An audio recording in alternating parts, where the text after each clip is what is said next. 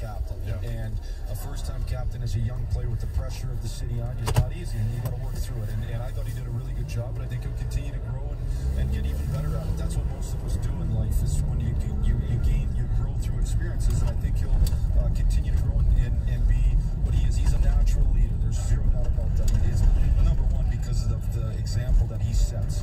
Um, you know, his off season was a lot about uh, recovering from his injury and going through the rehab process, and uh, and I think he's in a good spot. Uh, you know, I think he'll, I believe he'll be ready for when the puck drops on the season. Um, I think he'll be ready for training camp, but if we have to uh, adjust that a few days, that's not a big deal. We got to make sure he's ready come you know the beginning of October he's ready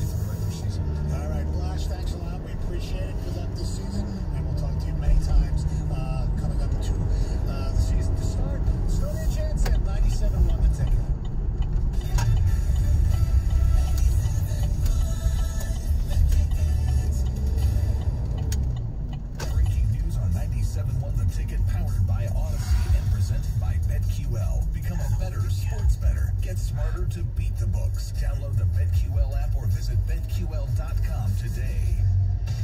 WXYT FM and WXYT HD1 Detroit.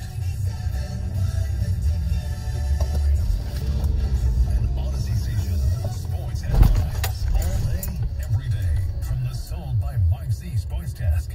This is 97.1 The Ticket. 4 p.m. today is the deadline for all NFL teams